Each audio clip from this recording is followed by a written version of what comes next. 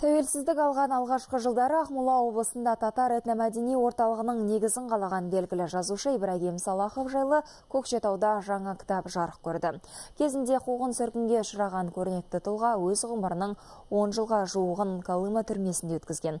Кейін елге оралып көптеген шығармалар жазды. Көзі тірі болса, бүгінде 105 жасқа толар еді. Ал Ибрагим Салахов туралы жазылған кітаптың авторы журналистика саласында жарты ғасырлық тәжірибесі бар. Көкшетаулық қаламгер Лариса Аитова. Бұл кітапта жазушының естеліктері мен фотосуреттері, сондай қиындыққа толы өмір жолы көрініс тапқан. Туындының тұсаукесеріне Қазақстан Халқы Ассамблеясының аймақтағы мүшелері мен Республикалық татар этномәдени орталығының өкілдері қатысты.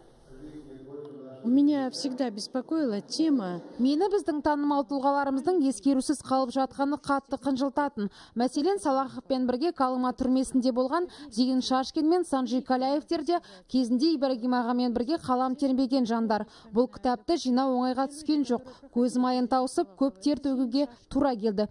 Десе де мен Ибрагим Салаховтың алдындағы азаматтық парызымды өтедім деп ойлаймын.